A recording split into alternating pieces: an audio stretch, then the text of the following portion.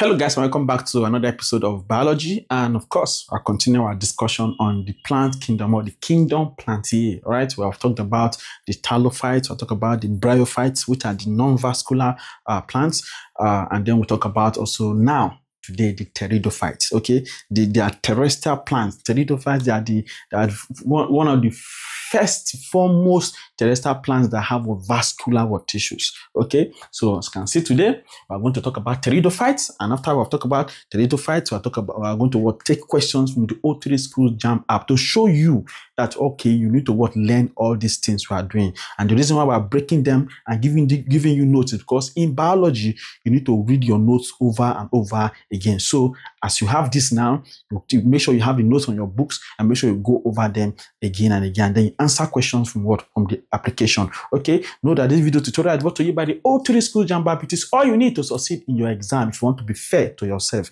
Okay? It has all the past questions for all subjects inside one app and some wonderful features designed to make you perform excellently well. For example we have the classroom feature where you can study lecture notes and after studying lecture notes you take tests under those lecture notes according to the JAMB syllabus so that you are able to finish your syllabus before your exam begins. Also we have the question search feature where you can search for question according to what topic. So after conquering a topic you can search what uh, a, a search for questions under that topic that JAMB has said before and then you answer them. That's how to use past questions. And also you will now have the bomb the UTME challenge a challenge that will conduct for all students that are writing JAMB for a particular year. You compete with your mates you win prizes apart from winning prizes, you get used to how JAMB set their question, all right? And then you are seeing your score released every week till one week to the main exam because the mock is every Saturday by 10 a.m. So as you are competing in the mock, all right, you are seeing your score every week. Say for the first week, you score 202.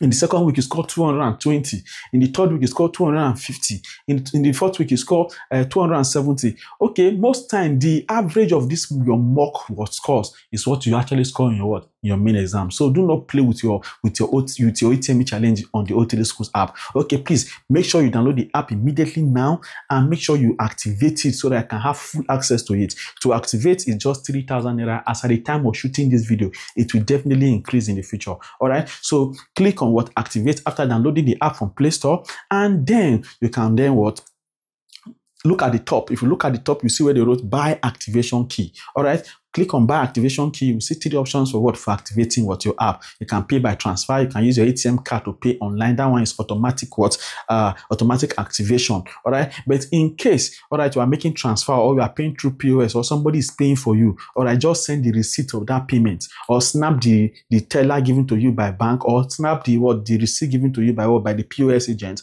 and then send to this number on WhatsApp 091 21 51 52 four six. All right? So once you send the receipt to this number on whatsapp you get an immediate what response. And of course your app will be fully activated for you. All right? So please do not sleep on the app. Download the app immediately now from play store. All right? And make sure you uh you start what practicing immediately. All right? Now like i said earlier i said pteridophytes are the first terrestrial plants okay, to possess vascular what tissues. They are the very first terrestrial plant to possess what vascular tissues like the xylem and the phloem. For what? For water conduction and what? And for conducting of what? Of what? Manufacture what? Food. Okay? So they have specialized tissues okay? For what for the transport of what? Mineral uh, water. Okay? So that is that. So their body is differentiated. They are not like the thallophytes okay? They are not like the thallophytes their body differentiated what? Into what? Distinct parts okay? Like of course we have the roots we have the stems and we have what? The leaves all right so this is this is what uh pteridophytes okay? Their body are not like the thallophytes their body is differentiated what in the what distinct parts like the roots the stem and what? And the leaves all right? So now examples of ferns examples rather are ferns all right? We have what? Marcellina we have horsetails we also have some other examples we have like pteris. Okay, it's, a, it's another example of what? Of uh, of a pteridophyte. We also have uh, equi, equisetum, equisetum. Okay, we also have uh, Selegina. Okay, so those are examples of what of uh, of pteridophyte. Okay, ferns, Marcellia, hostes, pteris, equisetum, Selegina. They are all examples of what of pteridophyte. But the most important ones, the most important ones, okay, the most dominant ones are what? The fence and the hostels. All right. So mostly in JAMB, they usually ask you mostly about fence. That's why we're going to majorly focus on what? On the fence in this what? In this class. Okay. So now the fence are seedless. Okay. They are seedless.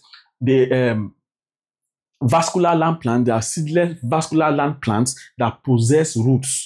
They have roots, they have stems, they have leaves. Of course, they are vascular because of, obviously they have what? Uh, the xylem, they have what? The phloem, they have specialized tissues for the for transportation of what? Mineral and what? And what? Water around their what? Their body part. Okay, so they are seedless. Must note that the vascular land plant that possess what? Root stems and leaves, and the stem of a fern grows horizontally below the ground.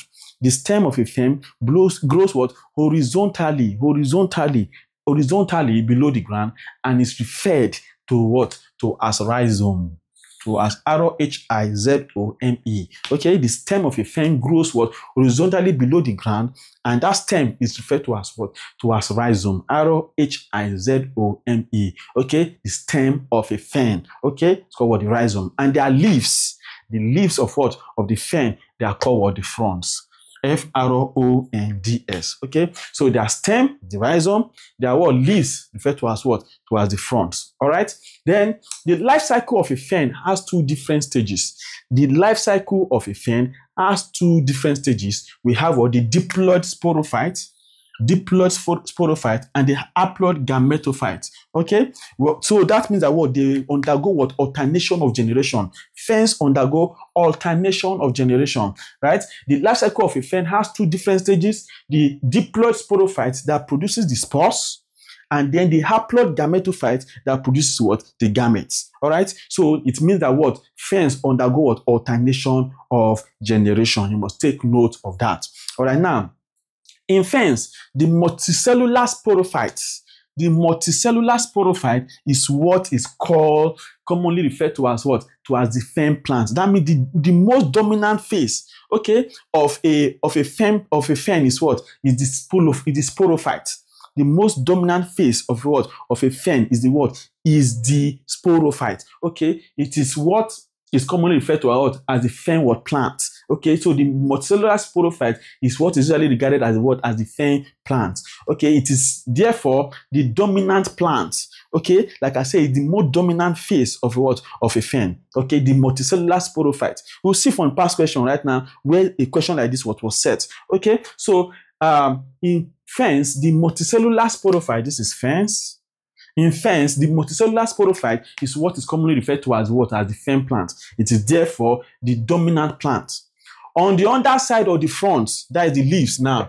Told that, that their leaves are referred to as what? The front. On the under, under the leaves, right? On the underside of the front are sporangia. You find the sporangia, and within the sporangia are what? are spore producing what cells okay? Under those leaves you see what some uh, you see some spores okay? Maybe like seed seed seed seed. They are not seed i'm just maybe the around the eye okay? So you see them under what? Under the fronds which is the leaves of what? Of the fence okay? Now we say what? Under side of the front are sporangia and within the sporangia are spore producing cells. The sporangia are usually in cross in clusters the sporangia are usually what in clusters referred to as what the sori the sporangia are usually in clusters and refer to them as the what? As the sori. S-O-R-R-I. S-O-R-I. Now, some ferns have a covering over the sporangia. Some ferns have a covering over the sporangia, and we know we take that as what? Uh, we know them to be called what? The indusium. Indusium. Okay, so some ferns have a covering over the sporangium known as what? As the indusium. Okay, there are so many other things we need to learn here. All right. We also know that what the gametophyte of a fern, the gametophyte of a fern is a small, a very small bisexual heart-shaped plant that we call what the prothallus. Okay. The gametophyte, the gametophyte, the gametophyte of a fern. The gametophyte of a fern is a small bisexual plant. It's a small bisexual plant, a bisexual heart-shaped plant, heart-shaped, know the shape of an heart, uh, of a heart, right? Heart-shaped what plant? Called the prothallus. Okay, so the gametophyte of a fern, all right, the gametophyte of a fern is a small bisexual heart-shaped plant called what? The prothallus. And of course, the prothallus is green. The prothallus is green. Prothallus is green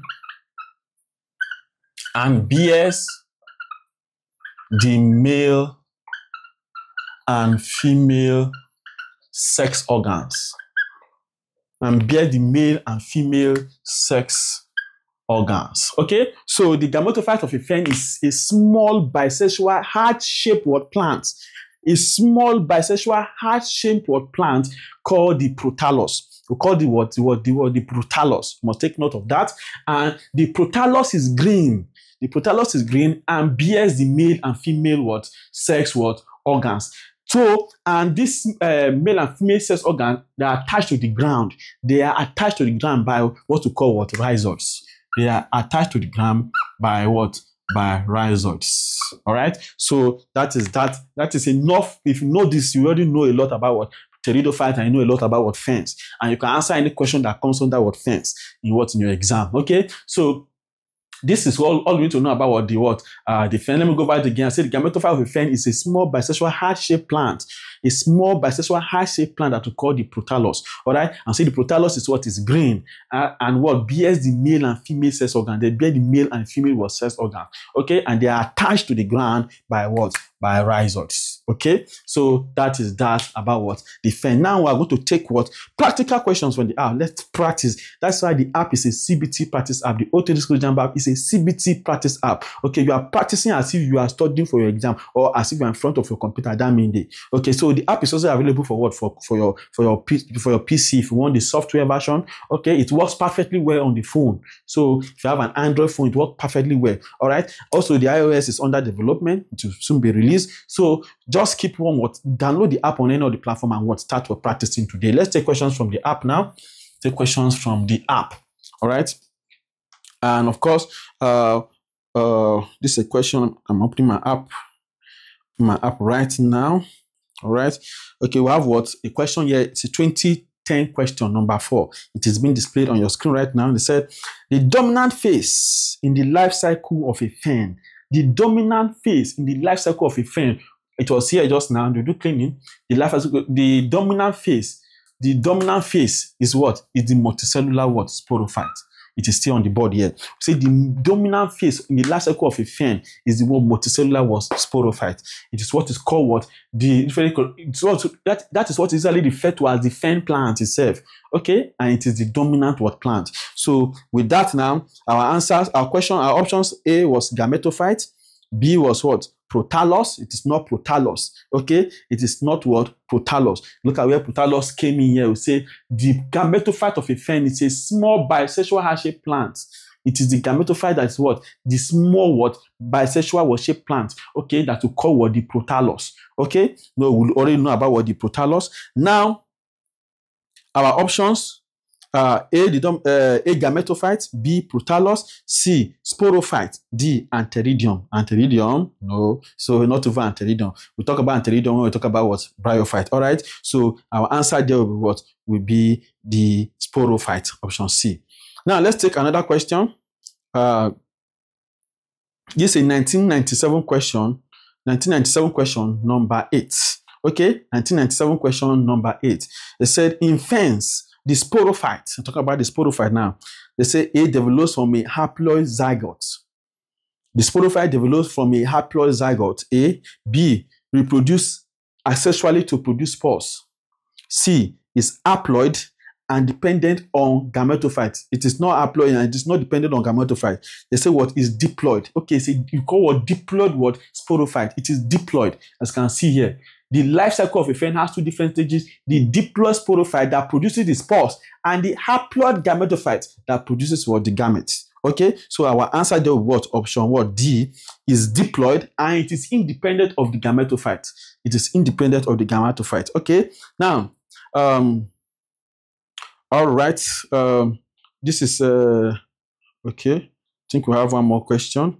Okay, that is all uh, I was able to gather. All right, so please go to the app. There are thousands of other questions on the app. Just go to the app, what and what. Start practicing what today. Your exams around the corner. You do not have time to waste. All right, please download the app, activate it, start practicing. Make sure you like this video. Make sure you watch. You subscribe to this channel. Subscription is free. It's just to what let you know whenever we release a new video. And of course, make sure, make sure, and make sure that you are sharing this video to your friends, to your loved ones, to your groups on Facebook, anywhere keep sharing with this video and I'll see you at the top. See you in the next class.